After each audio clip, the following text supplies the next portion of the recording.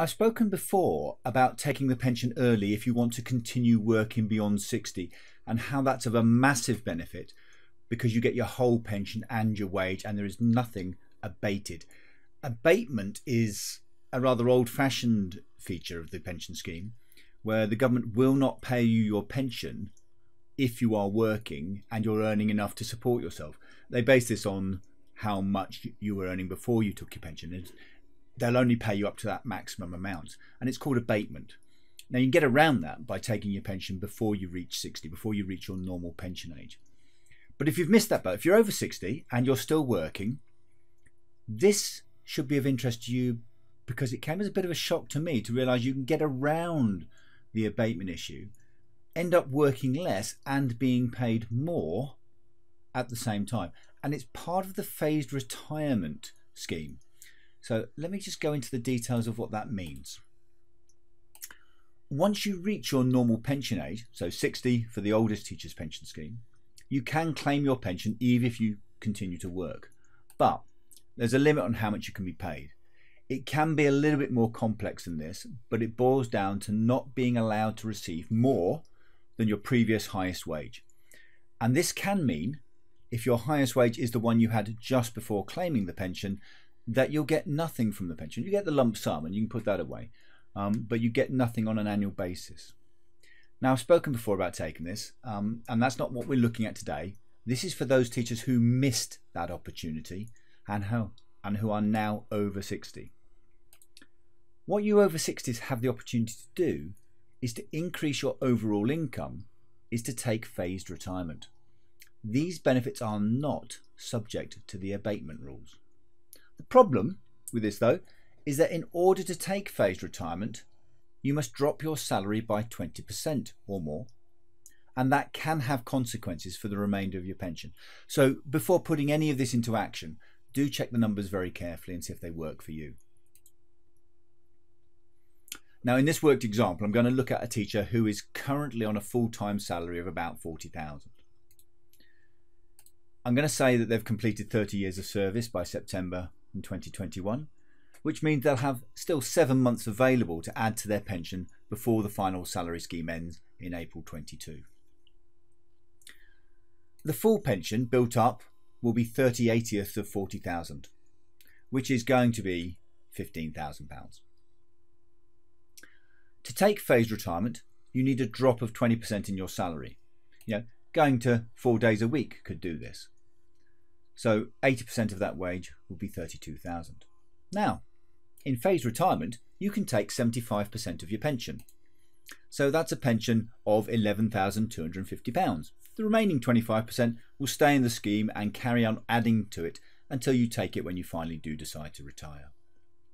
Put that wage and pension together and you'll be getting £3,250 more than you were and you could be working four days a week instead of five.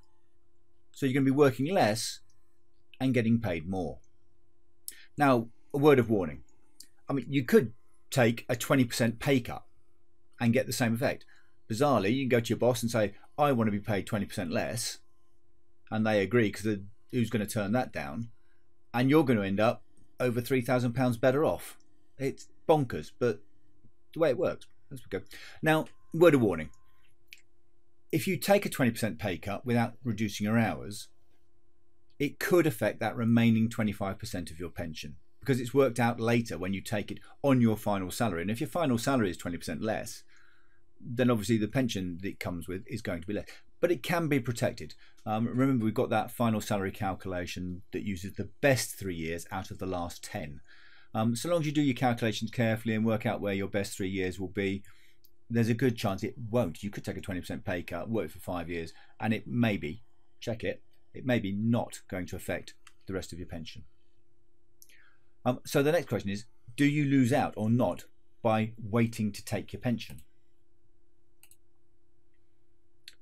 Well, because the final salary uses the final salary, it means that realistically the only way to end up worse off is if you were to get a sudden pay increase. In that case, you've had 75% of your pension based on a lower salary. Click.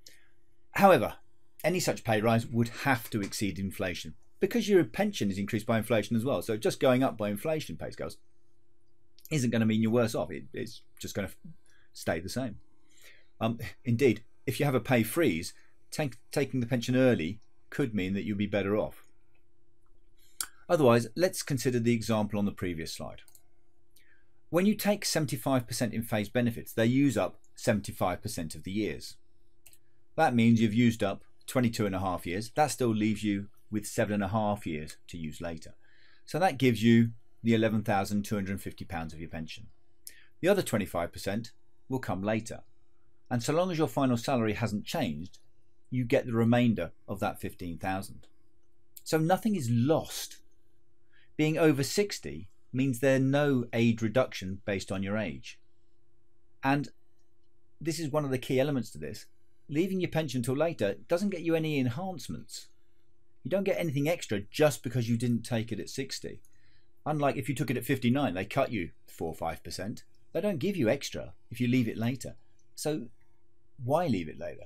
The only reason is if you think you're going to get a sudden big pay increase.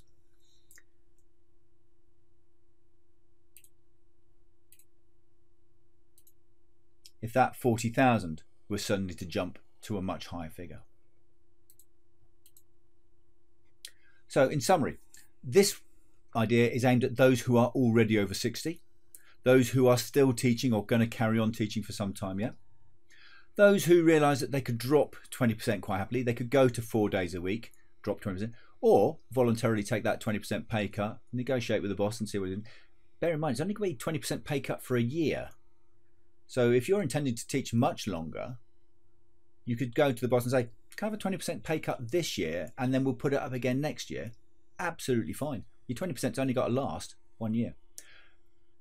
Key element, there's no abatement. The abatement rules don't apply to the phased pension values. If you took your whole pension, then you're going to be abated. Um, but do check the numbers, particularly if you think there's going to be a pay rise in your near future.